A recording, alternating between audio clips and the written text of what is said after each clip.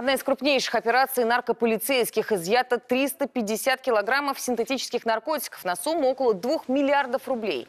Задержания причастных к преступному бизнесу прошли сразу в нескольких регионах. Владивостоке, Екатеринбурге, Москве и Подмосковье. Под стражу взяты 9 человек, в том числе предполагаемый главарь. Группа, как считают оперативники, наладила поставки психотропных веществ из Юго-Восточной Азии. Концентрат наркотиков хранили в Москве, на оптовой базе, а также на съемных квартирах. Сбывали так называемые спайсы через интернет-магазин.